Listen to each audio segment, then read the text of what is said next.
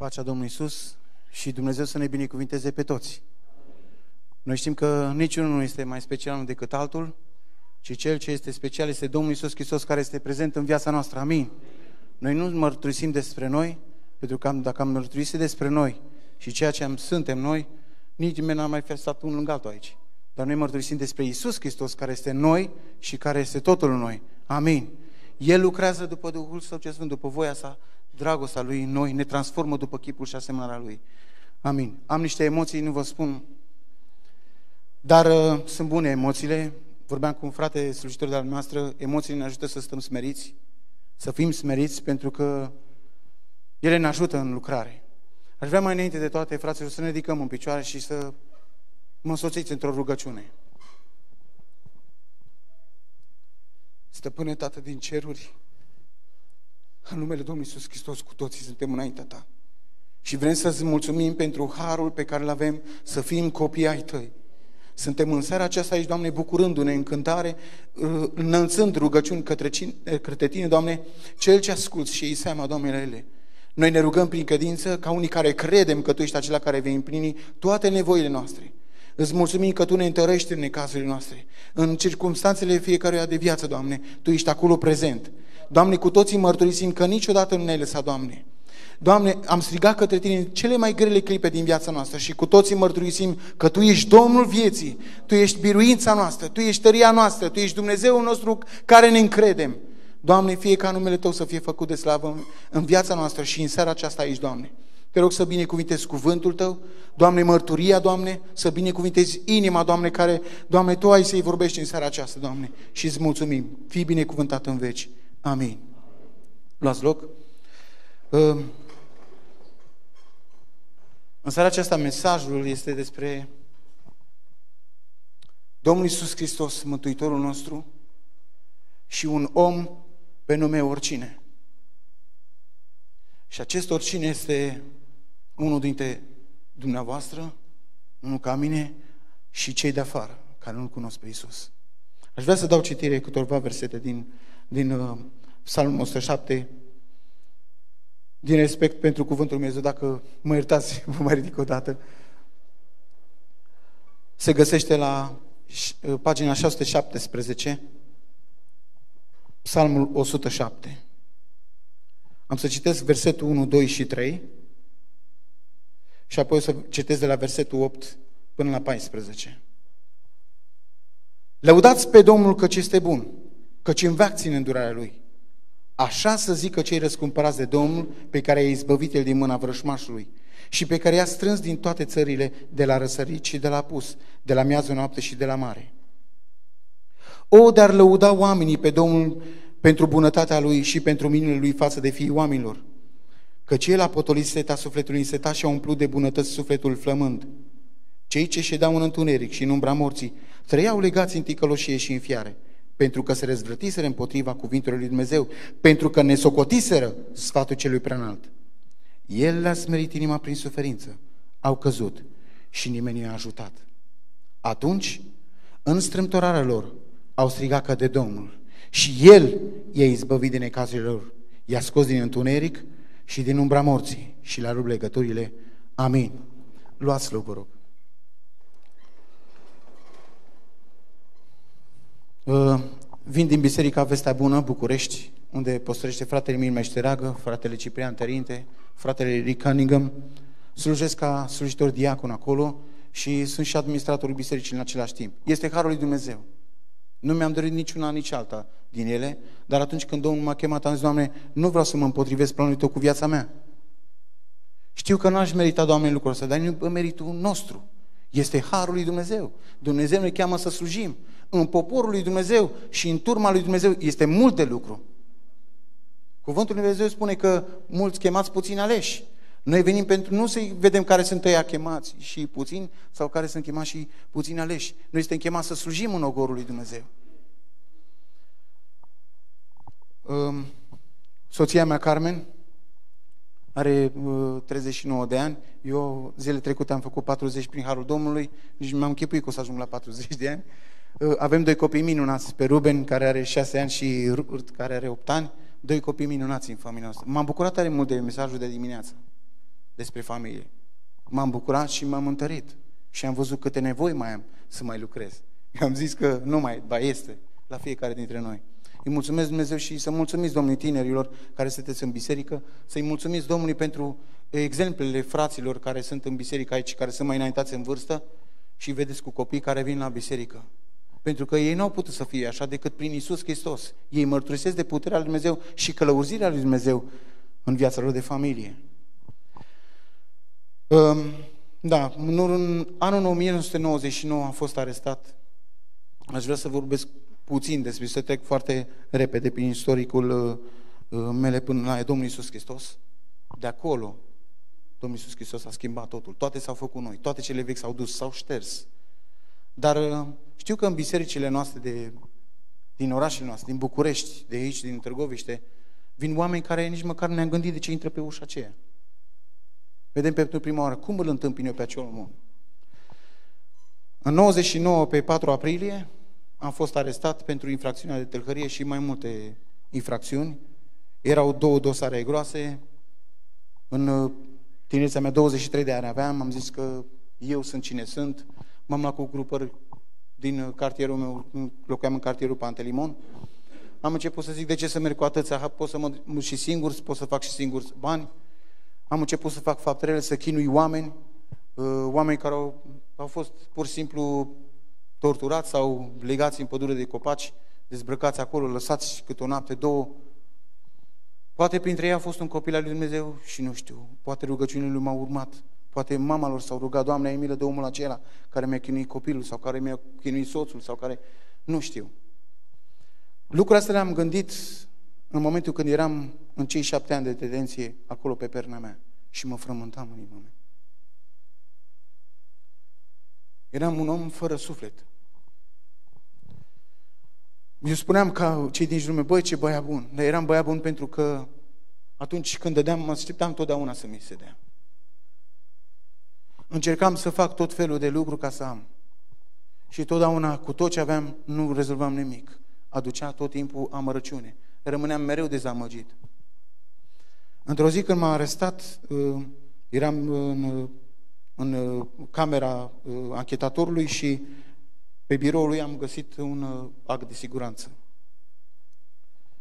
Și atunci când am luat acolo de siguranță, mi l-am băgat la caica pantaloni pentru că ori de câte ori ne transfera de la uh, camera de anchetă, ne transfera în celula de jos de la uh, secție, ne controla și știam că acolo nu ne controlează, nu are cum să dea de așa ceva. Și m-am dus în cameră, a venit seara, toți băieții din cameră dormeau, erau 11 băieți, și eu cum mi-am văzut pe fiecare că dorm, m-am luat acolo de siguranță și zic, acum e momentul, am să mă orbesc, pentru că n-au ce să facă cu mine uh, în pușcărie orb. O să-mi dea drumul acasă. Fiind singur acolo, am luat de siguranță, am început să-l înfing în ochi, nu a intrat acul de siguranță nici în dreptul, nici în stângul. Este groaznic, da, aici nu vreau să scot în evidență groaza, ci Harul lui Dumnezeu, pentru că astăzi nu port ochelari, nu port lentile de contact, nu port uh, uh, un baston în mână, dar uite Harul lui Dumnezeu care s-a revărsat peste mine. N-am văzut acest lucru în momentul acela. L-am văzut mai târziu, când Isus a inundat inima mea. Și fiind acolo în cameră, am, am băgat acolo de siguranță, n-a intrat și am fost transferat după un timp de pe secția uh, penitenciarului în uh, secția circe de poliție în penitenciar și am fost transferat exact într-o cameră unde geamul dădea în curtea de aer, adică curtea de plimbare unde se, schimb, uh, se plimbau deținuții o dată pe zi, cât o jumătate de oră sau o jumătate de oră, o oră afară. Și când m-am uitat pe geam, am văzut șchiopi, orbi, ciungi, surzi. Mai târziu Dumnezeu m-a cercetat și mi-a spus, uite Robert, dragostea mea te-a păzit ca acel lac să nu intre în ochiul tău. Acești ochi pe care i-am, îi am pentru că Iisus mi-a dat. Aceste urechi pe care le am și pe care le ai, pentru că Iisus le-a dat sănătoase. Aceste buze le am pentru că Iisus Hristos mi le-a lăsat. Am vrut să-mi iau viața. S-a răspunzătoarea cu mine. Am vrut să mă mutilez, să-mi dau ce era în interiorul meu afară. Dar Domnul m-a păzit și de acolo. Alții mi-au făcut planul să mă atace în, în penitenciar și să-mi ia viața. Dar Domnul m-a păzit și pe mine și pe ei. Ții minte că m-au bătut trei și într-o seară? M-am făcut una cu covorul. Așa arătam pe mâini și pe picioare. M-am dus la vizită, tocmai m-a venit să vizită la mine a doua zi, după acest bătaie, și când m-am dus la vizită, nu i-am spus de ce mi s-a întâmplat lucrurile acesta. Dar mi-am făcut-o, din, dintr-o coadă de furculițe, mi-am făcut un cuțit. Și o săptămână, seară de seară, îi așteptam pe cei trei oameni să doarmă. Și am zis, nu mă duc să iau pe unul. Eu trebuie să iau pe toți trei. Și Dumnezeu în dragostea Lui, pentru că iubea atât de mult pe ei și pe mine, îngăduia ca ei să nu doarmă și eu să nu pot să fac răul acela. Are Dumnezeu cumva în planul său pieirea oamenilor? Spuneți dumneavoastră cu gura dumneavoastră. Nu. Ce vrea Dumnezeu să facă? Să-i salveze pe oameni. Care a fost planul de salvare a omenirii? Domnul Iisus Hristos. Slăvit să fie Domnul. Iisus Hristos este Domnul Iisus Hristos, fiindcă atât de mult a iubit Dumnezeu meu, că a dat pe singurul său fi pentru ca oricine, despre acest oricine vreau să vă spun, crede în El, să nu piară, ci să aibă viață veșnică. V-am citit din Psalmul 107, pentru că mulți sunt în groapa aceea și sunt legați. Și toți prietenii lor pleacă de lângă ei și îi părăsesc, pentru că nu mai au ce să ia de la el. Nu mai are bani, nu mai are mașini, nu mai are nimic. În momentul când dai, prietenii care nu l-au pe Dumnezeu vin cu tine acolo. Se bucură cu ce ai tu și tu te bucuri cu ce au ei pentru că nici tu nu l-ai pe Dumnezeu. În momentul când l-ai luat pe Dumnezeu, devii sărac. Adică de ce devii sărac? Pentru că ținta ta nu mai sunt lucrurile de pe pământ. Ținta ta este cerul. Ținta mea este cerul. Și atunci prioritățile mele nu mai sunt pentru pământul acesta, sunt pentru cer. Sunt chemat să fiu bogat, sunt chemat să fiu sărac. Și cel bogat laudă pe Dumnezeu și cel sărac laudă pe Dumnezeu. Și cel bogat, Doamne, dă-mi înțelepciune, cum să folosesc aceste resurse? Și cel sărac spune, Doamne, cum să folosesc această sărăcie? Spre slava Ta vreau să o închin. Săracul nu poate face lucrările Domnului? Poate. Ce-i trebuie unui sărac și unui bogat? Inima se dea lui Isus. Domnul știe ce să facă cu ea. Domnul știe ce să facă cu ea. Și săracul spune, Doamne, vreau să te onorez cu sărăcia mea. Și bogatul spune, Doamne, vreau să te onorez, onorez cu bogăția mea. Cum? Mergi prin credință. Și Domnul te călăuzește. Fiind acolo în uh, penitenciar, după ce mi s-a întâmplat toată chestia, m-am prietenit cu un om din lumea interlopă din București și am stat patru ani de zile am mâncat cu el la masă. Doi ani au fost extraordinari. Fratele meu, luam, eu aveam grijă de haine, de geante, de tot ce era acolo, eu găteam pentru că era frică, avea dușmani și atunci trebuia să, nu cineva să-i spurce mâncarea sau să-l otrăvească. Au vrut unii să-l otrăvească în pușcărie. Și cel care a vrut să-l otrăvească a ieșit în pătru, scos de patru deținuți. Și omul acesta a stat și m-a supravegheat de la depărtare și apoi a zis, vină lângă mine. Și doi ani de zile a fost lângă el fratele meu și după doi ani de zile omul acesta a început să aibă depresii, să să ciuperci pe el, să-i cadă părul, din cauza îngrijorărilor și apăsării. Acum citea Biblia și când am văzut că citește Biblia, zice, Doamne, omul ăsta de la tine. Citea Biblia și punea toată camera să se roage. Nu era unul care să zică, nu vreau sau... Hai, toată lumea în genunchi și toți ne puneam în genunchi acolo. Că vroiau, nu vreau, se puneau în genunchi. Eram 12 inși în cameră. Eram o cameră de servire. Cei drept, ei erau mai micuți decât el. El avea un nume acolo, era respectat și nimeni nu putea să spună, băi, Mariană, nu vreau. Toți se puneau în genunchi. Și Marian citea vreo două, trei cărți de rugăciune de la Biserica Ortodoxă. Și nu la somn acolo pe genunchi. Dar stăteam acolo, nu se ridica niciunul. La un moment dat, când se supăra și nu-i mergeau lui, el, lui lucrurile și la uh, tribunal sau așa, lua cărțile de rugăciune, le rupea și de, ori de câte ori ajungea la cuvântul lui Dumnezeu. Nu putea să rupă. Era prea gros și nu s-a gândit să o desfacă, să o rupă foaie cu foaie. Se gândea, nu pot să o rup. Ia aici aruncă, așa mi se spunea mie acolo, Iță. Ia aici și aruncă astea la gunoi. Și ori de câte ori vedeam Biblia, știam că cuvântul lui Dumnezeu este adevărul. O luam și la răspundeam supernă. Când ei venea ziua lui mai grea și avea greutăți, se gândea, Doamne, numai Tu poți să mă ajuți. Băiță, unde e, sunt cărțile? Le-a aruncat? Zic, Maria le-am aruncat. Mai am decât Biblia. Două mă încoace. Vedeam Biblia și îl vedeam că, că citește. Îl căuta pe Dumnezeu. Dar nu era gata să-i dea toată inima lui. Mulți oameni îl caută pe Dumnezeu. Și prea puțin suntem dispuși să le spunem cu tărie, tu trebuie să-L cauți pe Iisus din toată inima ta. Tu trebuie să-i dai lui Dumnezeu toată inima ta. Știi, dar nu să mai pot să fac aia, nu. Nu, dă toată inima ta lui Isus. În momentul când uh, eram acolo la, și mai spălam o rufă la unul și la altul, că asta, așa mă câștigam existența, mama m-a căutat de, în șapte ani de șapte ori la închisoare. Și spălam un pantalon, un tricou, uh, un cerceaf, ca să pot să-mi câștig existența. Aveam un săpun să mă spăl, aveam un detergent după ce spălam rufele lui, le spălam și pe ale mele. Îmi plăcea să fac lucrurile astea.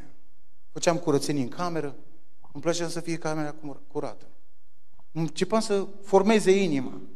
Și ori de câte ori vedeam supărări și apăsări, mă gândeam la Dumnezeu, pe care mama odată mi l-a mărturisit. Sunt multe mame aici și mulți tați, sunt mulți frați și multe surori care plâng pentru cei de lângă ei. Nu de deznă, deznădăjduiți. Sămânța lui Dumnezeu curățește. Dar știți când? Nu când vrem noi. Când Domnul hotărăște. De unde știi că prin răb... de unde nu știi că prin răbdarea ta, frate și soră, tânăr și tânără, prin răbdarea ta că stai acolo și plângi la picioarele Domnului Iisus, spui, Doamne Iisuse, privește către lacrima mea. Domnul Iisus privește către lacrima ta. Și El ia minte la ea. Am să vă spun, am, în urmă cu 8-9 ani de zile, după ce m-am liberat din închisoare, venind la Biserica Vestea Bună, um, eu plăteam un pachet de țigări, asta era moneda de schimb acolo, țigările și cafeaua, și plăteam un pachet de țigări să ascult vocea Evangheliei. O luam în urma că spălam sau făceam curat sau lucrurile acestea. Scriam, acolo mă, mă, mă, mă, mă revărsam în scrisori.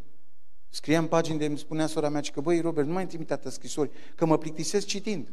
Deci era o întreagă istorie acolo, îi spuneam eu. Dar îmi spuneam durerea din suflet. Nu știam unde să o duc. Nici acolo acasă nu era primită. Dar când am venit la Iisus Hristos, El de-abia aștepta ca eu să-i scriu Lui și să-i vorbesc Lui. Pe mine nu m-a copleșit uh, nimic altceva decât dragostea lui Isus. În momentul când uh, eram zbuciumat, nu mai vedeam cale de ieșire din greutățile de viață, m-am dus în toaleta celulei mele, mă unde steam, mă uitam, era o fereastră de 40 pe 40 cu niște grate în ea. Ca să zic că nu sunt închis, să îmi păcălesc puțin conștientul, băgam capul între florile alea acelea ce erau și nu mai vedeam gratea și vedeam decât bolta cerească și mă uitam către stele. Și atunci mi-a venit versetul de aur care l-am auzit de nenumărate ori. Nenumărate ori.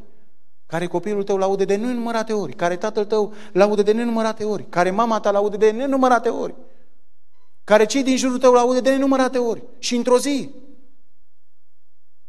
au strigat către Domnul. Dar în strâmtorarea lor am, strig, am citit. Au strigat către Domnul. Și ce a făcut Domnul? E izbăvit. M-am pus acea la, la geam și am privit către cer și am zis, Doamne, unul dintre acei oricine sunt și eu. Cel mai nesemnat dintre, cei oric, dintre acei oricine sunt și eu astăzi. Vin înainte, Domnul, mă poți ierta? Pentru asta, pentru asta, pentru asta, pentru asta. Devenisem o mașină de bătaie. Nu mă băteam cu oamenii în închisoare când eram prieten cu Marian. Din cauza că aveam eu ceva cu ei sau ei ceva cu mine. Aveau cu el. Și el ca să nu-și facă probleme și să-și mai ia vreun mandat în plus. Ce zicea? Ei să vezi că ăștia vor să ne zboară din spălătorie. Era spălătoria penitenciară Rahova, eram eu cu el pe o mașină de spălat și opt inși erau pe altă mașină de spălat. Toată lumea care trimitea uh, tot cafea, țigări și toate cele care erau foarte mare capital acolo și cel mai de în viață, nu le trimitea. Și ăștia au început să zică, băi, păi ce facem? Uh, noi opt pe o mașină spălat și ăștia doi și tot capitalul la ei vine. Hai să le facem ceva. Și Mariana a auzit lucrul și a zis, Robert, îl prinzi pe biscas și îl faci una cu pământul. Dacă nu te distrug. Tremuram tot când auzeam. Mi-a strâmbat. O nară, am o nară mai mică și una mai mare. Am clavicola ruptă. Făcea procedee cu mine de judo. Dar uh, inima mea nu era pentru așa ceva se făcea rea, dar în, în fundul inimii mele era o durere. Că nu puteam să spun nu. Mi-era greu să spun nu, că dacă îi spuneam nu sau plecam din cameră și mă la comandant, domn comandant, salvați-mă că nu mai pot să stau lângă ăsta. Toată pedeapsa mea avea în greutăți, pentru că se zicea numele. Vezi? Vezi că e ăla cu tare? Cum îl prinzi? Distruge-l. Dar am stat și am răbdat acolo. N-am știut, mai târziu, am văzut că el a fost o unealtă a lui Dumnezeu pentru mine. Prin ea Domnul m-a șlefuit. M-a învățat să tac, m-a învățat să rabd, m-a învățat să fac curat, m-a învățat să spăl, m-a învățat toate lucrurile acestea și în momentul când mă rugam, eram închis și mă rugam pentru soție, nu știam că o să fiu cu Carmen. Și ziceam, Doamne, binecuvintează pe aceea care va fi soție. Și te rog, Doamne, fă ca ea să te iubească pe tine, că dacă te va iubi pe tine, mă va iubi și pe mine. Și atunci când mă vede că mă duc în jos, Doamne, să mă tragă înapoi. Tu mă cunoști, Doamne, cunosc slăbiciunea. Ea, pe altă parte, se ruga, Doamne, de moaia neagră familiei, dar care să te iubească pe tine, că dacă mă iubi pe mine, te va iubi pe tine, mă va iubi și pe mine. Neștiind, eram separați. Fusese, mama ei fusese prietenă cu mama mea. Dar Dumnezeu a luat seama la rugăciunea aceasta. Pentru că nu am căutat un egoism. Doamne, să mă iubească pe mine, să-mi spere, să aibă grijă de copii. Doamne, nu. Să te iubească pe tine, căci dacă te va iubi pe tine, Doamne, mă va iubi și pe mine. N-a avut niciun prieten până la 29 de ani. Mă scuz, Carmen, că zic lucrul acesta. Și eu am fost un curvar, un golan, un om care prea puțin mă gândeam la durerea celui ce îl lăsam în urmă. Și când m-am întâlnit cu ea, am spus, ea știa de istoricul meu și el la un moment dat se gândea să mă mări cu el sau să nu mări cu el, Doamne. Dar cine sunt eu, spune ea? Cine sunt eu să-i țin în seamă greșeală dacă Tu, Doamne, ai iertat? Și a făcut un pas prin credință. Eu și la ora actuală mă rog, zic, Doamne, învață-mă să-mi iubesc soții. Nu știu să o iubesc. Iubirea, să știți, fraților, și dragostea e de o clipă în noi, inima noastră. Noi o trăim azi. Noi doar trăim dragostea. Noi nu o cunoaștem. Noi trăim. Și când suntem în ea acolo, iubim. Mângâiem pe cel ce este îndurerat. În cel ce este lipsit. Nu poți să te uiți la el cu, cu ochii și zici, lasă-mă că are Dumnezeu cu Nu! Îți pasă de el. Te apleci la picioarele lui. Îți dai îmbrăcămintea de pe tine pentru el. De ce? Pentru că ai văzut la Isus că a făcut-o pentru tine. Exemplul de viața nostru nu suntem noi oamenii, ci Isus în oameni. Isus Hristos în oameni. După ce m-am liberat, istoric e lung, vreau să spun esențialul și ceea ce avem noi nevoie, fraților. Nu avem nevoie să auzim despre numele Robert Ivașcu. Nu încălzește cu nimic. Într-o zi a scris acolo pe un certificat născut și într-o zi va scrie pe cruce decedat. Dar Isus Hristos este viu în vecii vecilor, amin? Slăvit să fie Domnul. Și lucrează. De 2000 și ceva de ani, Domnul Isus lucrează, slăvit să fie Domnul. Toți care au crezut în Isus Hristos au plecat și și așteaptă răsplata. Va veni și rândul meu și rândul tău, dar depinde cu ce vei merge acolo. Spune Domnul Pavel, duceți-vă mântuirea până la capăt. Să ne ajute Dumnezeu să ne ducem mântuirea până la capăt. Asta înseamnă o, o continuă alergare și sfințire. Noi sfințim pe Domnul Isus Hristos. Auziți ce spune Domnul Isus Hristos? El care era Fiul lui Dumnezeu. Nu era El Sfânt? Era Sfânt. Dar cum spune în Ioan 17?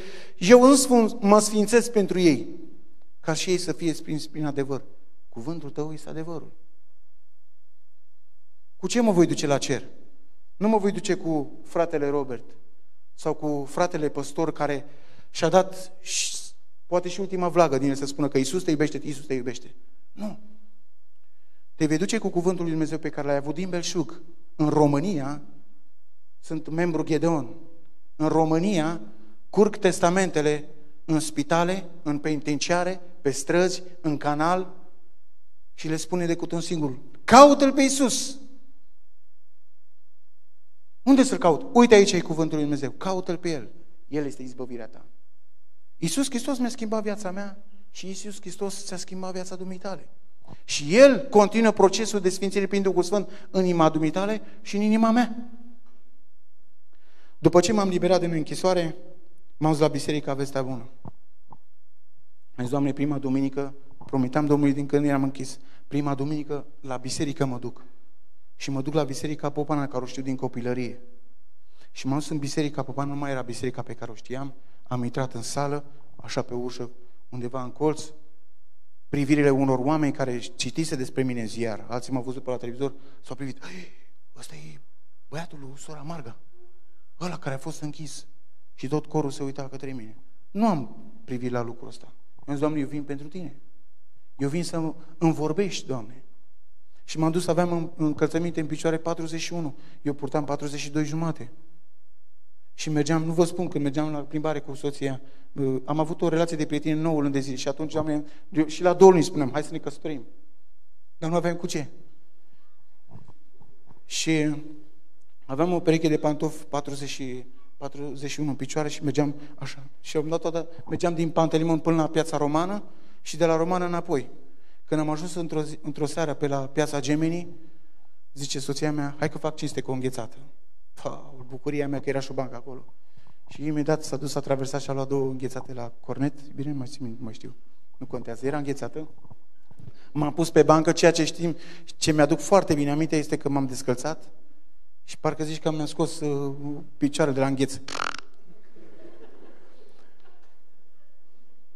Nu vă spun cât mi-a durat să mănânc acea îngheță. După aceea am spus suferința pe care am dus-o cu pantofii în picioare, deși era multă vreme de când ne întâlneam și erau singuri pantofi care eram încățat cu ei.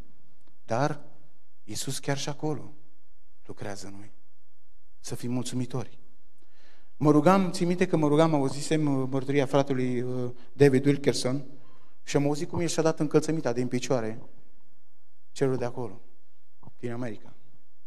Și Doamne, tare mult mi-aș dori să am și eu harul să pot să dau cuiva încălțămintea mea din picioare. Pur și simplu să-i dau. Știți în ce vreme s-a întâmplat lucrul acesta? Eram într-o seară, veneam la biserică, mergeam la biserică cu fratele de la noi, Leviți, Manu. Eu vă spun numele că dacă vă întâlniți cu el să vă și mărturisească. Și zice, vorbeam despre lucrările minunate ale Dumnezeu și ce face Dumnezeu cu noi. Și cât de mult ne dorim să lucreze Dumnezeu prin noi. Și stăteam într-o stație tramvai. Era un ger afară crâncen.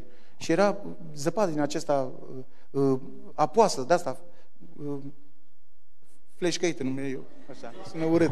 Nu știam cum să ezit așa. Cum? Zloac. Așa, mulțumesc frumos. Domnul să vă binecuviteze. Mi-am uh, reglat vocabularul. Mulțumesc. Și în momentul când uh, eram acolo, vine un om, mirosea, Doamne, îngrozitor. Și noi vorbeam despre biserică, despre Domnul Isus. Vine lângă noi, te-ai fi așteptat să spună, dă și mie o pâine sau dă să-mi iau și eu o pâine. Și nu te supăra. Uh, la ce uh, biserică mergi? Păi zic, merg la biserica Vestea Bună de pe Popana 106. Ah, și când e programul acolo? Păi duminică dimineața, duminică seara, joia.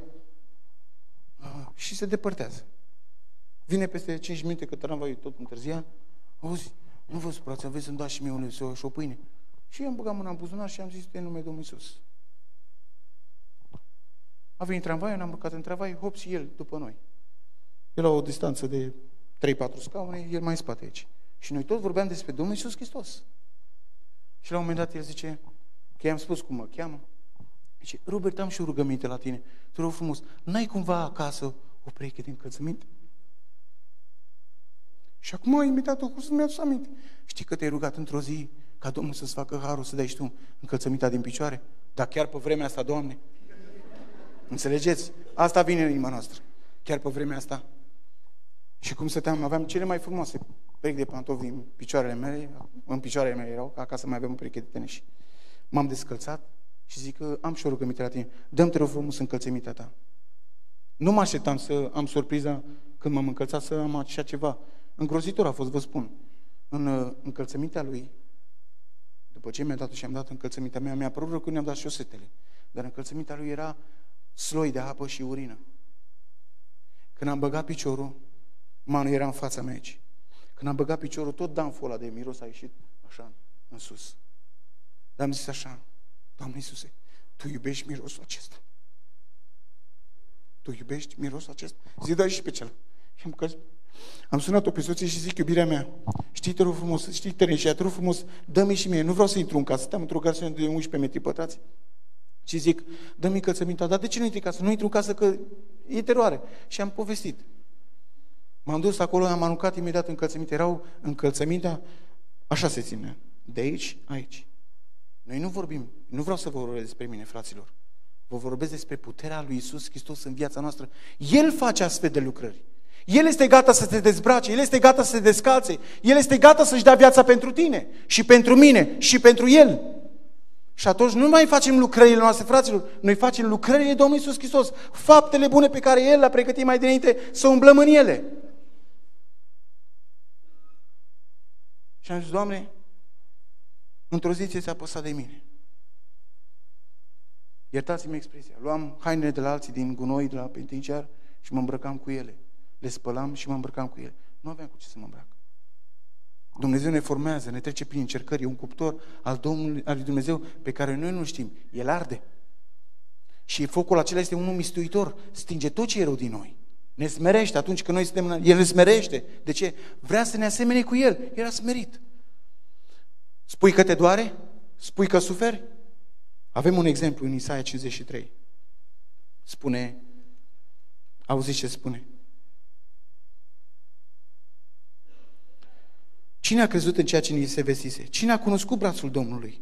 El a crescut înaintea lui ca o drasă slabă, ca un lăstar care iese dintr-un pământ uscat. N-avea nici frumusețe, nici strălucire ca să ne atragă privile. Și în fățișarea lui n-avea nimic care să ne pleacă. Disprețuit și părăsit de oameni. Om al durerii și obișnuit cu suferința. Era așa de disprețuit că îți întorcei față de la el. Și noi nu l-am băgat în seamă. Și totuși, Domnul Iisus Hristos ne bagă în seamă pe toți. Care? Oricine. Oricine. Lucrez în, în București.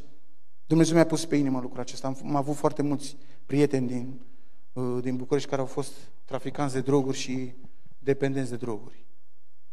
Și într-o zi am auzit că au murit patru dintre ei. Și am suferit mult. Și am zis, Doamne, pot oare să stau așa nepăsător față de ei? Și am început să merg în urmă cu 5 ani, 6 ani în canal.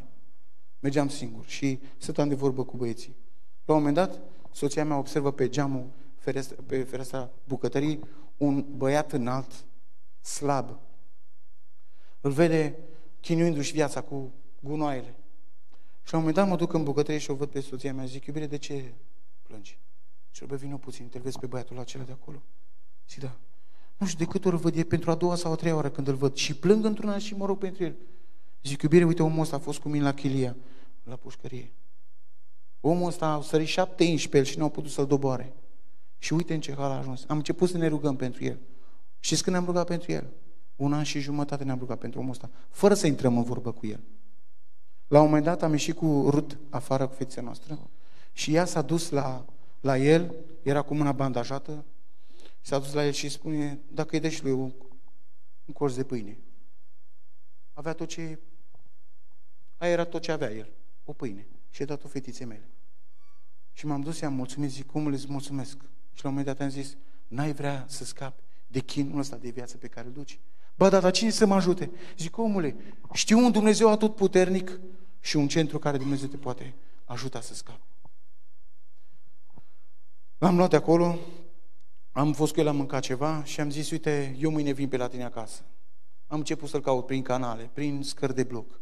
Mă duceam, Dumnezeu spune dorința asta pentru oameni, iubirea asta față de oameni, pentru că El a iubit mai întâi. Iubirea Lui acum locuiește în tine. Nu poți să fii nepăsător față de dragostea Lui Dumnezeu. Te topește.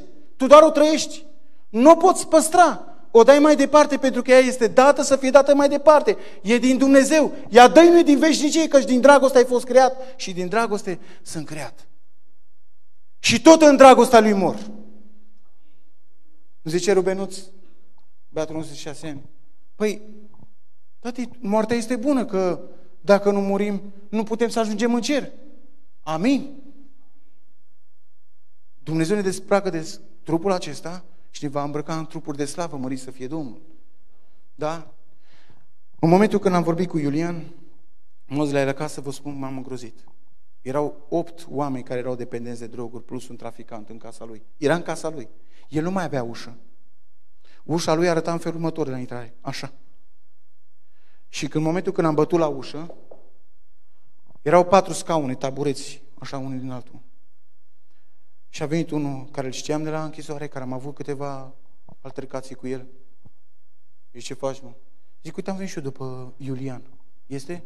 Vezi, mă, că e în pat acolo. Era pe un pat în sufragerie, întins. Dormea, cu coadă, cu... bătut, făcut măr. Lângă el, pe noptieră, era un nou testament. Deschis și cu fața în jos așa. Și Doamne, omul ăsta te caută. Și a venit acest uh, traficant, ca lui spune lui, a venit al lui Lizie, stă undeva în Pantelimon prin capătul 14. Și a venit așa din dormitor, în sufragerie unde stă Iulian. El nu era șef, nu era proprietar acolo, Iulian, deși era casa lui, nu era proprietar. Ăilalți erau proprietari.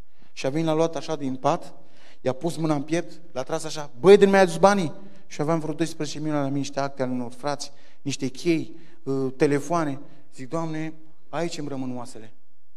Dar în momentul când am intrat în casa aceasta, în lift, mă rugam ca Domnul să fie cu mine. Nu știi ce voi întâmpina. Și am zis, Doamne, eu m-am rugat ca Tu să fii cu mine și înainte de a păși pragul acestei case, Tu ai fost cu mine. Tu vei fi și acum cu mine. Era, gândul ăsta a fost în fracțiune de secundă. Și când a fost gata să-i dau un pumn, eu m-am pus între și zic, Calu, Calu, stai că-ți dau eu. Și aveam bani la mine, așa, nu știu, m-am scos 250 de mii și am dat. Zic, uite, poftim, uite. Ce mă trebuie să-mi dea mie alții banii care trebuie să-mi aduci tu? El trebuia să fure ca să-i aducă bani lui pentru droguri. Și imediat a zis, Iuliane, vino. Am luat, am mers amândoi la spital, zic, hai să-ți fac analizele. I-am făcut analizele și vreo 5 zile asta la noi acasă.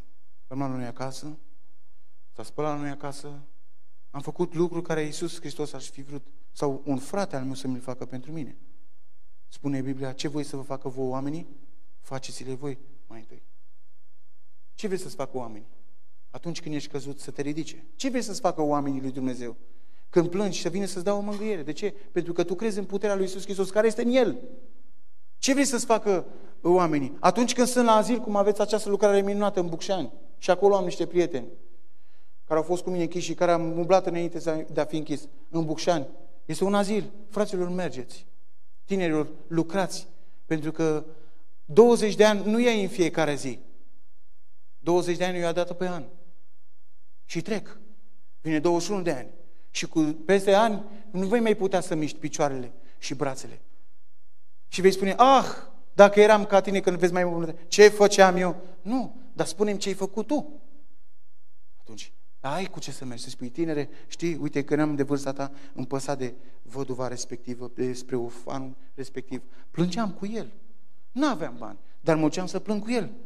Nu aveam uh, mașină, dar mergeam cu tramvaiul și mă și vorbeam cu el.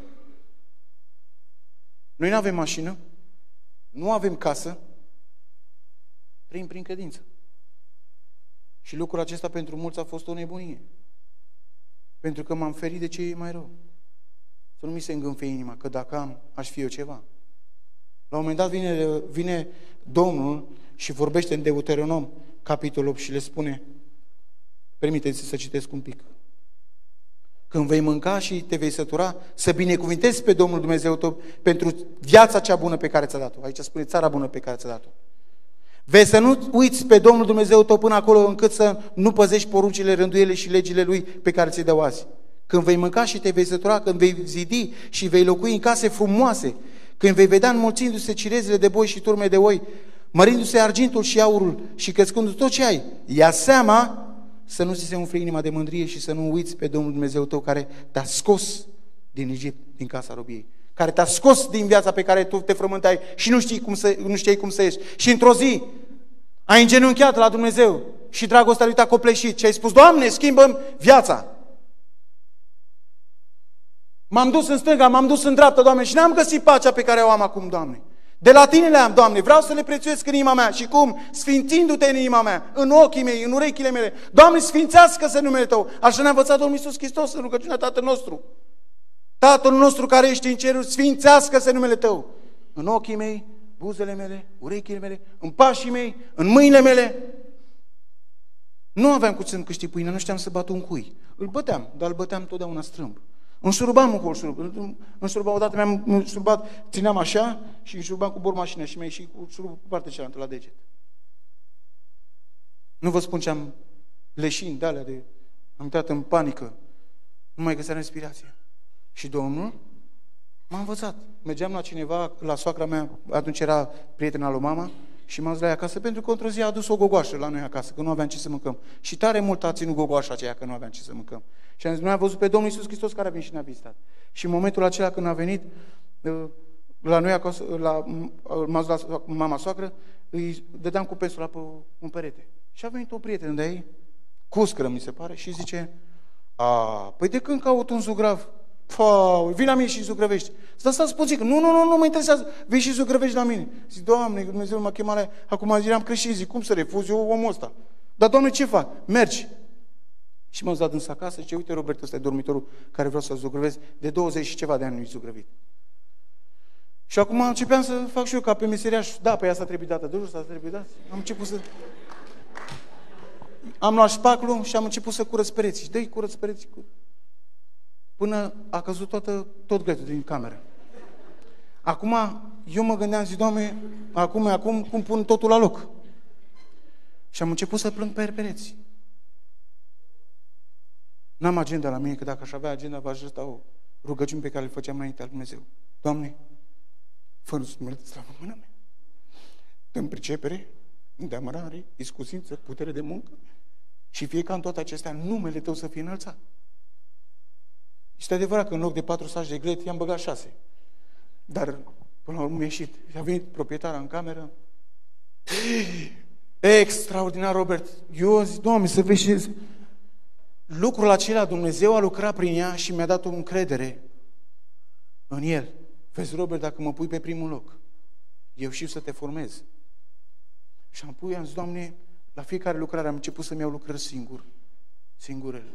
Și ori de câte ori eram, intram în casă, făceam câte o cameră și pe aia mă apucam cu, cu clienții la vorbă. Da, și le spuneam mărturie. La un moment dat era o doamnă care a fost uh, uh, operată de tumoare pe creier. Și cineva m-a recomandat să mă să-i fac glafuri de la geam. Și zice, Robert, te duci de femeia asta, uite așa, uite așa. Mă duc acolo în casă, îi văd uh, glafurile, i-am dat un preț ca să pot să-i fac treaba. După ce am făcut prețul, m-a chemat, i-am făcut o cameră, două, la a treia mă cheamă la masă. Robert, hai să mănânci. Era liniște în casă. Când în surdine aud acolo vocea Evangheliei. Zic, oh, Doamne, dumneavoastră ascultați vocea Evangheliei. Da, hai să spun ce s-a întâmplat. Uite, eram în spital la operație la Fundeni. Și acolo în spital um, era un copil de 8 ani, care era operat și el tot pe creier. Doamne, dar ce impresionat am fost când am văzut atâta, atâția oameni în jurul lui, în fiecare zi venea câte cineva la el. Și avea un radio care se asculta. Oamenii cei erau pocăiți. Înțelegi ce vreau să vă spun? Erau pocăiți și cânta cu el ușor, se ruga cu el. M-a impresionat tare mult. Și când am plecat de acolo, am luat uh, postul acela și am început să ascult și eu în casă. Acum eram frământat, zic, trebuie să-i spun, trebuie să-i spun și despre mine, trebuie să-i spun. Zic, doamnă, mă bucur că ascultați vocea Evangheliei. Să știți că și eu așa făceam, plăteam un pachet țigări ca să ascult o oră vocea Evangheliei. Și prindeam câte o predicuță. Dar cum plăteai eu pachet țigări? Da, păi am fost închis. Cum? Ai, am fost închis. Pentru ce ai fost închis? Păi pentru... După ce am terminat lucrarea, îmi zice așa, Robert, vreau să-ți mărturisești ceva. Zice, doamnă, dacă mie îmi spuneai dinainte că tu ai fost la pușcărie, nici măcar vizor nu vedeai. Și am zis, slăvit să fie Dumnezeu că El poate să facă lucruri noi, printre noi. Amin? Domnul face lucruri noi, printre noi și cu noi. Pregătiți inimile noi. Așa zice câtarul Sani. Prin mărturia lui, ascultând la vocea Evangheliei, am zis, Doamne, dacă ai putut cu omul, să poți și cu mine. Și dacă Dumnezeu a putut cu dumneata, nu spune oamenilor ce a făcut Dumnezeu cu Robert sau cu, nu știu, alții care au venit aici. Spune ce a făcut Dumnezeu cu viața ta. Spune, uite, Dumnezeu, ce a făcut Dumnezeu cu viața mea în situația respectivă. Crezi că ești la voia întâmplării lângă acel om? Crezi că omul acela este la voia întâmplării lângă tine? Continui cu Ilian. L-am dus la spital, i-am făcut analizele.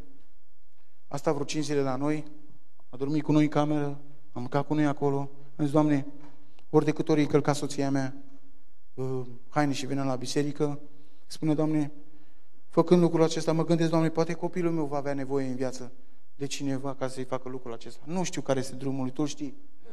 Dar, Doamne, fac și pentru el și găsește și pentru el pe cineva. M-a impresionat tare mult când mi-a spus soția mea lucrul acesta. Și o făcea cu bucurie, cu dragoste. A trecut o perioadă, ne-am să luăm analizele.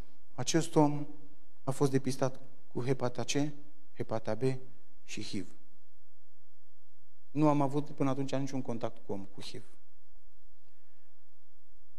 Și nu m-a speriat lucrul acesta. Am mâncat cu noi la masă, a făcut baie în baia noastră, a băut din paharele care am băut și noi și ori de câte ori făceam lucrul acesta, am zis, Doamne, a fost mai jos decât Când inima era durerea ta mea și plină de păcate, ți ți-a păsat de ea. Și Tu m-ai învățat, Doamne, să-mi pese și mie de aproapele meu. N-am avut niciodată tangente cu acest om. Dar am zis, Doamne, îmi pun la dispoziția Ta. Dumnezeu de-abia așteaptă, că El ne cheamă. Mergeți! Și în momentul când mărturisim, nu doar vorbim, noi trăim. Și când trăim, umblăm, fraților, lucrăm. Un om cu mâini sănătoase și picioare sănătoase nu poate sta atunci când îl copleșește dragostea lui Dumnezeu. Lucrează și lucrează și nu obosește. În momentul când intră un om pe, pe ușa bisericii, vă spun, Iulian acesta a, s-a căsătorit acum, are patru ani de zile de când, cinci ani de când este uh, scos din groapa pieirii. Era legat, cum v-am citit, în 107. Și ce se întâmplă? Are opt analize făcute la Matei Balș și nu îi găsește microbul HIV în corp. Fraților, nu găsește microbul. Slăvit să fie Domnul! Au vrut doctorii de acolo să le să zică, știi, uh, trebuie să mergi cu noi la o conferință, vrem să te dăm exemplu pe țară, că uite, a ținut uh, tratamentul. Și el a spus așa, eu nu merg pentru că pe mine m-a vindecat Dumnezeu. Slăvit să fie Domnul. Soția, el a crezut, zicea, Robert, pe mine nu mă va lua nimeni de acum încolo, nu vă spun ce, ce depresii, ce cădere a avut. Am auzit, a zis, Doamne, Iuliane, ce ți-am mărturisit, Dumnezeu va aduce la viață în tine. Trebuie să crezi, mergi cu mine mai departe. Nu crede El, crezi tu. Credința ta e mai mare decât credința lui, pentru că el, săracul, e un prunc, e un embrion. El de-abia s-a născut acolo în pântec. Și tu ești chemat să-l ajut să crească. Și îl ții după tine. Iar de ce pe și cade în droguri. Te duci și ridici. Iuliane, Iisus Hristos să știi că are un plan cu tine. Haide să mergem amândoi, nu poți tu. Hai te ajut eu. Mergeam la canal, mergeam la băieții în canal. Era unul săracul, zi, acum anul trecut, Mă, mă văd băieții de la canal și spun, a, Robert, Robert, Robert, uite, vezi că Chiriță e în canal, de o săptămână zace acolo. M-am dus în canal, când cobor în canal, Chiriță dezbrăcat, în pielea acolo complet, cu fața în jos, jumătate de gură, respira jumătate în pământ. Și când am intrat acolo, zic, uleu, zic, e mort. Zic, Iuliane, de aici te-a scos Iisus, vină cu acesta, să-l ajutăm pe omul ăsta. Ne-a coborât și el jos, mirosea înăuntru a putrefacție. Am coborât jos, m-am zis L-am mișcat așa și venea. Zic, Chiriță, Chiriță, sunt eu, Robert. Ori de câte ori mă duc la acești oameni și și le spun, în cele mai grele clipe, pot să le spun povești, să le spun mărturii, să le spun orice, le spun din cuvântul Dumnezeu. Ultimul cuvânt pe care îl las când plec de acolo spun, în cea mai grea clipă a vieții voastre, în cea mai mare necaz al vostru, strigați la Domnul Isus Hristos. Și era Chirița acolo și zic, Chiriță, ți-aduce aminte ce ți-am spus să strigi la Domnul Isus? Roagă-te. L-am luat de acolo, l-am luat cu Iulian, l-am pus pe un pat acolo cum era în canal, Iulian a ieșit că nu putea să reziste și zic, Doamne, ce să fac? Să chem pompierii? Zic, nu, fac o rugăciune și după aia chem pompierii. Au venit pompieri, a venit poliția, a venit smurdul, eram în canal acolo, au coborât doi pompieri în canal cu targa și s-a pus lângă pat acolo să-l bage pe targă. Dar zice, noi ne apropiem de el. Nu luăm. N-au vrut să le ia fraților, n-au vrut să le ia, n-au vrut să atingă de el. Și zic, oameni buni, omul acesta este un om care Dumnezeu suferă pentru el. Așa am spus lor. Cine pasă nouă, mă? Hai mă să mergem. Zic, domnule, stai că ți-l îmbrac eu. Mi-am dat haina jos de pe mine, am găsit o pereche de pantaloni rus pe acolo, prin gunoiul la care era acolo, i-am tras pe el și l eu l-am legat de targă, că n-au vrut să lege pe de targă. Cine face diferența aici? Tu sau Isus? Isus. Omul ăsta se uita așa și zic, bă, nene, cum pot să fac asta? Că eu n-aș fi făcut ruptul capului și cu mână și mână. Dar nu le facem noi. Le face Domnul Isus prin noi. Noi spunem, Doamne, să n-ați dispoziția ta când pleci de acasă, spun, Doamne, binecuvintează, Doamne, astăzi viața mea. Și nu uita, frate și soră, că viața ta în momentul când ai cerut binecuvântarea Dumnezeu este cu tine și vrea să te crească. Îți dă puterea să le iei pe cel... Mă scuzați, eu merg în astfel de locuri, unde copiii le, curgem, le curg mucii. Ei în brațe. De unde ai atâta putere? Asta sunt copiii. Veneau în biserică, am construit o bisericuță de 30 de metri pătrați undeva în voluntari, e construită pe, un, pe o groapă de gunoi. Și veneau copiii fără chiloței, fără asta. Ce să zic? Băi, și afară ia-ți încălțămi, ia-ți pătini și după aia vin cu Nu. Doamne, inima asta bate pentru tine. Și au venit și au început să cânte, să laude pe Dumnezeu. Fratele Gabi, da? Gabi de dumneavoastră din biserică, l-am luat, când eram la Teen Challenge, l-am luat, zic, hai Gabi să, să-ți arăt o, un teren de lucru. Sus, tati. Da, ea știe oricum, de câte ori cade, îi spun, tati, cine cade se ridică. Și am construit această biserică prin credință. Oamenii se băteau cu topoare și cu băte între ei. Venea primarul Pandele acolo mereu și despărțea cu, cu mascații, venea de două, trei ori pe săptămână. Dar am mers acolo acum, în urmă cu 8 ani și ceva și am zis, Doamne, Tu iubești pe oameni și ai mai iubit pe mine mai întâi și cred că iubești și pe ei. Și am crescut, fraților. Slăvit să fie Domnul. Acum sunt membri în Biserica Betel, în Biserica Vestea Bună, în Răul Vieții. Fiecare acolo unde a așezat Dumnezeu. Și i-am încurajat. Fraților, aici în Câmpul Dragostei nu este biserica. Aici este o, o, o cămăruță de părtășie. Mergeți acolo unde Dumnezeu va așeza ca mădulare. Eu nu sunt un dezbinator să te iau să fac eu biserica mea. Nu, nu sunt chemat pentru asta. Eu sunt chemat să mărturisesc și să te ajut să te ridici și să crezi. Asta e chemarea mea. Și am zis, Doamne, vreau să-mi duc chemarea aceasta până la capăt. Nu este ușor.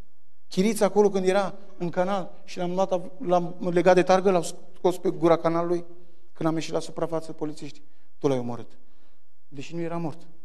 Domnule, nu am făcut nimic, eu am venit un cetățean, am coborât jos în canal, mi-a păsat de omul ăsta și l-am luat soțul, eu cunosc pe oameni și de ceva ani de zile vin printre ei. M-am dus cu el, am stat o noapte la spitalul Pantelimon. L-au băgat în perfuzii. Nu vă spun ce țipete, ce durere acolo. Când am plecat, m-am dus, am făcut o rugăciune pentru el la pat și m-am dus acasă. La 5 dimineața m-am dus acasă și am spus soției, am istorisit lucrarea. Zic, uite, iubire, uite așa, așa. Ne-am rugat pentru el și n-am mai avut uh, liniște și seara m-am dus la spitalul Pantelimon să văd ce face. Și spune, domnule, nu mai să aici, transferat la spitalul uh, Victor Babeș, la terapie intensivă. M-am dus la terapie intensivă, mi-am luat sticluța cu undele, eram la, la tineret, slujeam la tineret, și după ce am slujit la tineret, uh, am plecat la, la spital. Se făcuse 11 noapte. Și m-am zis la Iulian și zic, Iuliane, hai cu mine să mergem să ne rugăm pentru un om pe care, pentru care Iisus a murit pentru el și poate să-i dea mântuire. Și ne-am dus la canal, la uh, spital, am, mi-a deschis la terapie intensivă doctora și spun, doamnă, am venit și eu după un băiat chiriță, care a fost de la dumneavoastră, om al străzii. Ah, da, da, este acolo pe un pas. Zic, Doamne, am și o rugăminte. Cinci minute, nu mai mult. Fac o rugăciune și îi dau cu mir pe frunte. Și apoi, bun, dar să nu fie mai mult de cinci. Nu, Doamne, m-am dus în salon, zic, unde este? Doar pe aparat. Tăt, tăt, numai așa se auze acolo. M-am apropiat de el și mi-a venit exact din ea, cu, cu spune așa, mă, rugăciunea făcută cu credință va mântui pe cel bolnav și Domnul va însănătoși și dacă a făcut păcate, îi vor fi iertate. Și am scris, el era în comă și am întrebat-o, doamnă doctor, zic, doamnă doctor, am și o întrebare la dumneavoastră. Dacă eu vorbesc cu el, mă aude? Domnule, te aude, dar nu poate reacționa nici într-un fel. Vă mulțumesc, zic. Și era la ușă salonului. Am luat sticluța de unde lemn, mi-am desfăcut-o și zic, Chiriță, sunt Robert și am venit la tine special să facem o rugăciune împreună. Uite și știți ceva din cuvântul Dumnezeu? Îți fac ungere și te rog să repeți după mine. Și făceam ungerea am adus înaintea lui Dumnezeu și zic, Chirița, acum zi după mine, Doamne Iisuse, Doamne Iisuse. Eu așteptam pauză prin credință, nu schița nimic. Doamne Iisuse, venim înaintea Ta, Doamne, și te rog să-mi ierți. Și am început să fac o rugăciune prin credință cu El. După ce am terminat să zic, Chiriță, te rog, dacă poți, dacă poți, dă-mi un semn că m-ai auzit. Dă-ți silințele. Era acolo și Iulian și doctora. Și zic, mișcăm un picior. Când în momentul când simți că pun mâna pe tine, mișcăm un picior. Și chirița al meu, după ce am pus mâna pe piciorul stâng, am mișcat piciorul stâng. Este al doilea exemplu, într-un om din comă, un prieten de-al meu a intrat, care a fost cu mine în faptă și a fost la închisoare, dar nu cu aceeași faptă cu mine, a intrat cu, cu scuterul într-un stâlp din pasajul Obor. Prea s-a făcut, i s-a crăpat crane în două și a intrat în comă la spital, în comă, la, a stat în comă la spitalul Pantelimon. Și toți tovară și toți uh, băieții de cartier venise la spital atunci. Și spune, băi, americanul moare. Și m-am acolo și am zis, Doamne, omul ăsta, odată i-am spus despre tine și eu cred că cuvântul tău nu este așa aruncat. Are harul omul ăsta ca să se ridice. Și zic, Doamne, mă rog pentru el. Și m-am dus acolo la el, eram cu fratele meu, mă rugam pentru el și la un moment dat zic că, Doamne, Iisuse, în cândul meu mă rugam, zic, Doamne, dacă omul ăsta va trăi, dă-mi un semn, Doamne. Dă-mi un semn. Fă să miște un deget. Eu mă gândeam la un deget, să fac așa. Eram atent la orice mișcare a lui, să văd acel semn. Și fraților, vă mărturisesc, ori de câte ori mă întâlnesc cu el acum, soția mea vă poate mărturisi, am mai când face cum era în comă, a ridicat piciorul așa. M-am speriat, zic, Doamne, ești viu și adevărat, Doamne. Ești viu și adevărat, Doamne. M-am dus afară și am vorbit cu soția lui și zic că toți băieții de acolo, toți au spus că nu mai trăiește, că unul era, murise exact unul care a avut accident cu motorul. Și zice, băi, ăla a murit. Zic, băi, americanul nu moare. Du-te, băi, Ivașcule. Zic, nu moare. Uite, m-am rugat acolo și am zis, așa, Doamne, te rog să-mi dai un semn dacă va trăi sau nu. Soția lui e îngrijorată. Dă-i cu mătănii, dă cu lumânări, cu ce aduce acolo. Zic, crede doar în Isus Hristos că El poate să aducă viață în El. Și acum este viu. Este pe picioarele Lui. Merge la biserică. Slăvit să fie Domnul. Este cuvântul lui Dumnezeu care este sămânțat acolo. De ce vă spun lucrul acesta, fraților? Nu noi facem minunile? Nu noi facem minunile. Nu ne ridicăm pe oameni din groapă? Nu. V-am citit mai devreme și vă repet.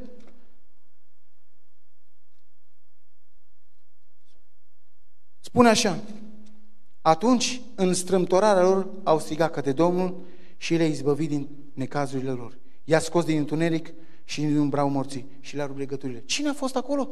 Domnul. Domnul Iisus Hristos. Sunt în seara aceasta aici, fraților, să vă mărturisesc despre dragostea lui Dumnezeu față de noi oameni.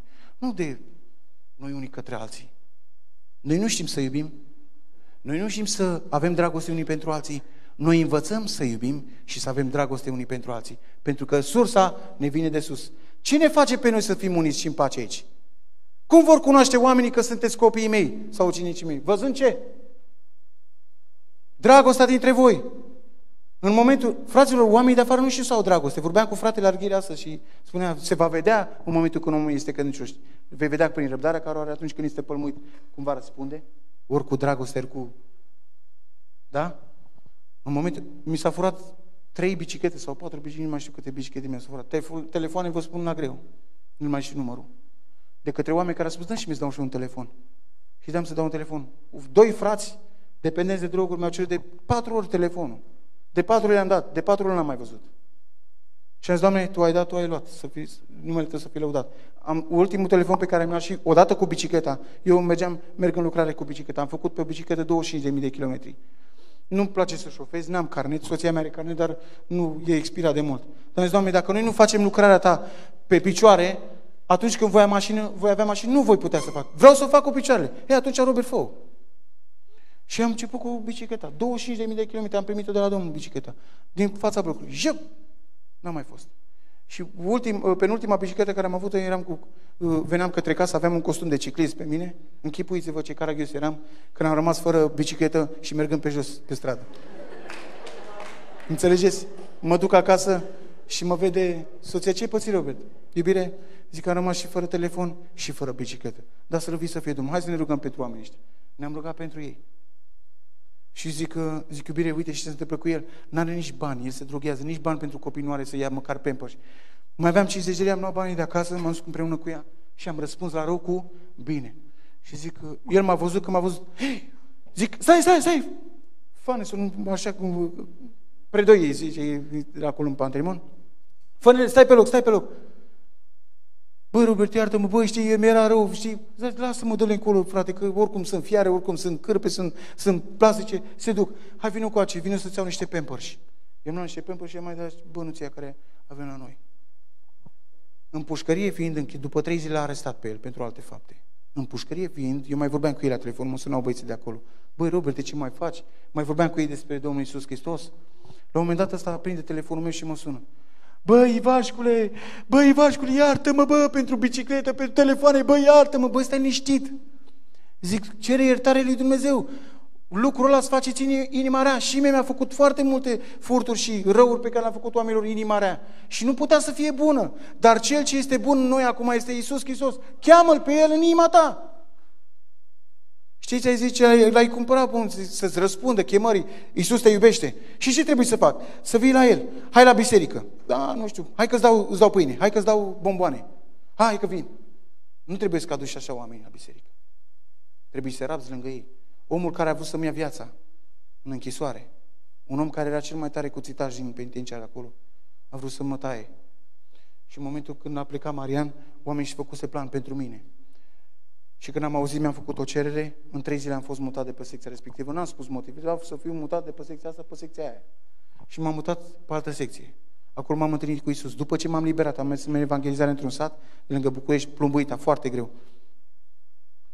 Și la un moment dat, mă scuzați, ok, la un moment dat, când eram la evangelizare, îl văd pe Manciu. 57 de ani, 27 de ani de închisoare făcuți. Am înghețat când l-am văzut. Am continuat să predic Evanghelia, am plecat acasă și zic lui care mi zic, iubire, dacă spun pe cine am văzut azi la plumbuita, m-a luat transpirația, zic, Doamne Dumnezeu Tatăl, cum să mă mai duc a doua oară? Dar Iisus spunea inima mea, îl iubesc, mi-am dat viața și pentru el. M-am dus la a doua oară, nu m-a cunoscut, și a treia nu m-a cunoscut. A cincea oară mi-am dat seama, zic, Doamne, trebuie să-i spun. Zic, magile, știi cine sunt? Uite, sunt iță de la pușcărie, uite așa. Când a auzit. A cinci minute n-a zis nimic la telefon. Zice, bă, Roberte, ce să zic? Îmi pare rău, dar uite, așa erau împrejurările, ce mi-a zis acolo. Mă duc la plumbuita și mă așteptam ca să nu mai vină. Cum a văzut, m-a luat în brațe. M-a invitat la el acasă și zice, băi, Roberte, tu vrei să-i pucăiești pe ăștia aici, mă. Băi, niciunul nu se pucăiește, mă. Nu o să pucăiești pe niciun de aici. Zic, stai mă, cele puțin, că eu nu vreau să pucăiesc pe nimeni. Eu cred în cuvântul lui Dumnezeu care este plin de putere și adevăr în viața acestor oameni și poate să pucăiască. Cine credeți că face botezul în plumbuita? El a făcut botezul. În urmă cu patru ani și-a predat viața Domnului Iisus Hristos și acum e fratele noi în biserică. Este drept pentru care o creștere mai grea, dar acolo au fost niște ani de robie. Spargeri de case, multe, multe altele. Și e greu la omul ăsta să crească. Trebuie să-l ajutăm pe acești oameni care vin astfel în biserică. Am fost la o conferință la Sibiu despre uh, predicarea din cuvânt și la acolo m-am întâlnit cu niște păstori, le-am așezat în jurul focului buturul și le-am așezat pe toți. S-au așezat toți acolo, așa a făcut Dumnezeu cazul și am spus, fraților, Pregătiți-vă ca în bisericile dumneavoastră să primiți valul de acei oricine care n-ai crede că se, se vor pocăi, să-i primiți cu dragoste. În momentul când am intrat în biserică, mi s-a întins o mână cu dragoste. Știți ce, am, ce m-am bucurat azi dimineață? Eram acolo cu soția mea și copiii.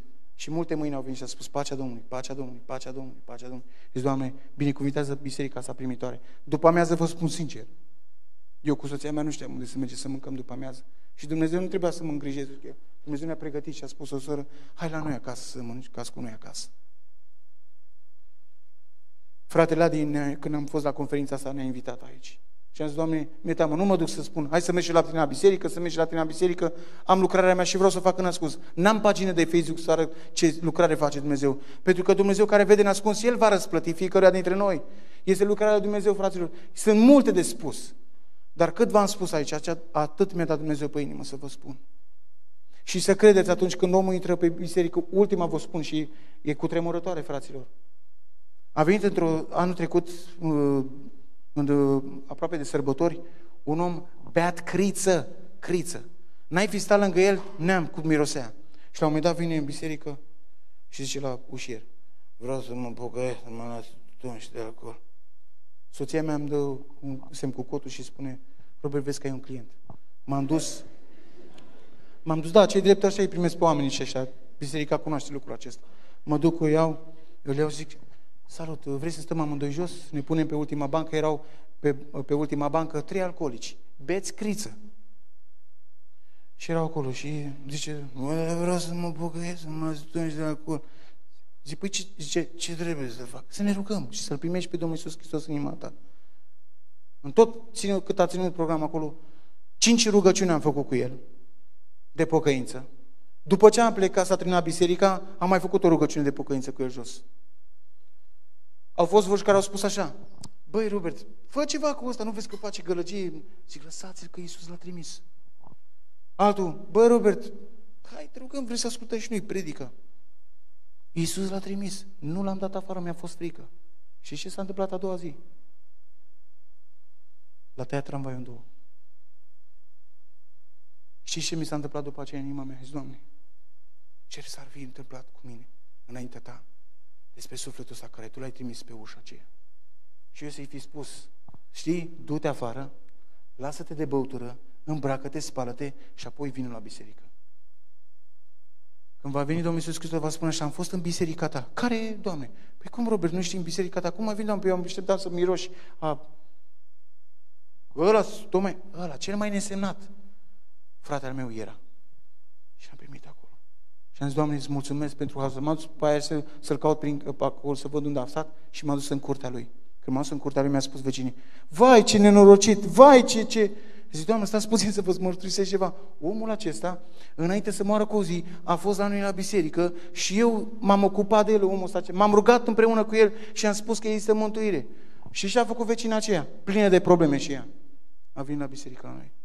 După vreo trei luni de zile, când Domnul a cercetat Și a venit, nu era niciun program, nu era cântare, nu era nimic. S-a pus pe un scaun acolo și plângea în hohote. Și am zis, Doamne, nu știu ce să răspund acestei femei. M-a luat o altă soră din biserică și am zis, surioară, am și o rugăminte la dumneata. Era sora, ă, soția fratelui Pandra, care a decedat. Zice sora Pandra, mergeți și vorbiți cu acea domn, uitați îndurat. Sora Pandra s-a ridicat și s-a dus și a vorbit cu dânsa. Și a dus mult balsam cuvintele de îmbărbătare care le-a zis. Fraților, să fim gata, să fim împreună lucrători cu Dumnezeu. Să fim o, o biserică sănătoasă. Să fim primitori de oaspeți între noi. Să răspundem chemării Dumnezeu când spune să mergem la Bucșani. Fiți gata să mergeți. Nu știi cum Dumnezeu lucrează prin Măcar prin, prin zâmbetul tău. Zâmbetul tău nu mai este al tău, este al lui Isus. El îți dă puterea să zâmbești. Prin zâmbetul tău va aduce viață în inima acelui om. Și va spune, dar cine a venit la mine? Au venit niște pocăiți și mi-au dat toți un zâmbet. Al cui era? Cred că era al lui Isus. Și mi-a spus cuvinte așa care mi-au dus mare vindecare în inima mea. Sunt multe dureri acolo. Domnul să vă binecuvinteze și să vă întrească. Mulțumesc în numele Domnului Isus Hristos. Vă aduc și saluturi bisericii noastre. Nu te lăsa birui de rău, ci birui și răul prin bine. Roman 12 cu 21. Dumnezeu să vă binecuvinteze și vă spun sincer, am stat odată, cred că o oră am stat cu fratele Horodincă și uh, îi spuneam la birou și de mult îmi spunea, Robert, uh, să vii la, să vii la noi, zic, frate Horodincă, cu prima ocazie o să ajung, dar Adi a luat înainte și să-i transmite salutări și din partea noastră. Domnul să vă binecuvinteze și să vă întărească. Aș vrea să ne ridicăm în picioare, fraților.